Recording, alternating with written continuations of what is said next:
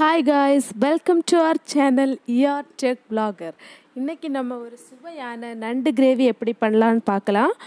அதுக்கு முன்னாடி நீங்கள் எல்லோரும் எங்கள் சேனலை சப்ஸ்கிரைப் பண்ணுங்கள் லைக் பண்ணுங்கள் இந்த ரெசிபியை ட்ரை பண்ணிவிட்டு எப்படி இருக்குன்னு கமெண்ட் பாக்ஸில் கமெண்ட் பண்ணுங்கள் இன்றைக்கி நம்ம அவுட்டோரில் தான் குக் பண்ண போகிறோம் அடுப்பில் சட்டி வச்சுருக்கோம். அது சூடான உடனே எண்ணெய் ஊற்றிக்கலாம் எண்ணெய் ஊற்றியாச்சு இப்போ நம்ம ஆயில் சூடான உடனே அதில் கடுகு போட போகிறோம் கடுகு போடலாம். கடுகு வெடித்த உடனே நம்ம இஞ்சி பூண்டு பேஸ்ட் ஆட் பண்ண போகிறோம் கடுகு நல்லா வெடிச்சிடுச்சு. இப்போ இஞ்சி பூண்டு பேஸ்ட் அது கூட ஒரு சி ஒரு சின்ன வெங்காயம் அரைச்சி சேர்த்துருக்கோம். இதை நல்லா ஃப்ரை பண்ணிக்கோங்க. பச்சை வாசனை போகிற வரைக்கும் நல்லா ஃப்ரை பண்ணுங்கள் நல்லா ஃப்ரை ஆன உடனே நம்ம இப்போ இதில் கருவேப்பிலை சேர்க்க போகிறோம்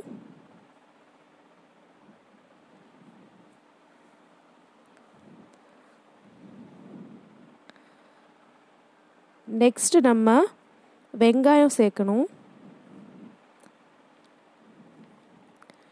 வெங்காயம் சேர்த்து நல்லா ஃப்ரை பண்ணுங்கள்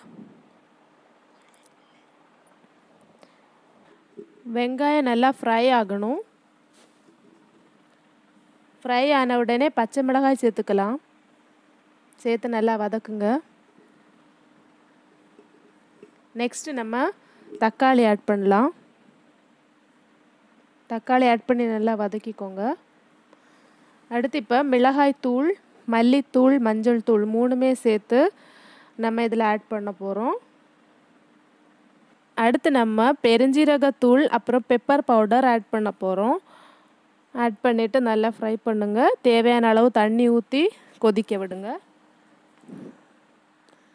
இது நல்லா கொதிக்கணும். நெக்ஸ்ட் நம்ம உப்பு போடலாம் தேவையான அளவு.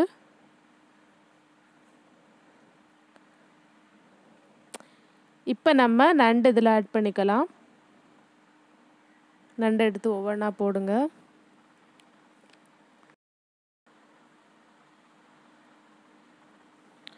நண்டு ஆட் பண்ணிவிட்டு கிளறி விடுங்க. கிளறி விட்டுட்டு நம்ம இப்போ ஒரு மூடி எடுத்து நல்லா மூடி வைக்க போகிறோம் இந்த ஒரு அஞ்சு நிமிஷம் நல்லா கொதிக்கணும். அஞ்சு நிமிஷத்துக்கு அப்புறம் நம்ம ஓப்பன் பண்ணி பார்க்கலாம்.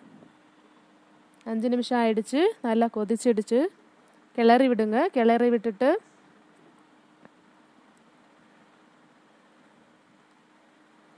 இன்னும் நம்ம கொ கொஞ்சம் கூட வெயிட் பண்ணலாம். இப்போ நம்ம நண்டு நல்லா வெந்துடுச்சு. நெக்ஸ்ட்டு நம்ம ஆட் பண்ண போகிறது தேங்காய் அரைச்சி வச்சது. தேங்காய் அரைச்சி அதை இதில் ஆட் பண்ண போகிறோம் தேங்காய் ஆட் பண்ணும்போது உங்களுக்கு டேஸ்ட் கொஞ்சம் டிஃப்ரெண்ட்டாக கிடைக்கும். அதுக்காக தான் தேங்காய் ஆட் பண்ணுறோம் நல்லா கொதிக்க விடுங்க. கொதித்ததுக்கப்புறம் இப்போ நம்ம இறக்கிக்கலாம். நம்மளோட நண்டு கிரேவி ரெடி ஆயிடுச்சு. இப்போ நம்ம அடுப்பிலிருந்து கீழே இறக்கி எடுக்கலாம். அதுக்கு முன்னாடி கொத்தமல்லி தழை தூவி எடுத்துக்கோங்க. இப்போ சுவையான நண்டு கிரேவி ரெடி ஆயிடுச்சு. இப்போ நம்ம இதை ரைஸில் ஊற்றி டேஸ்ட் பண்ணி பார்க்கலாம். இப்போ நம்ம ரைஸ் கூட சாப்பிடலாம். எப் டேஸ்ட் எப்படி இருக்குன்னு பார்க்கலாம்.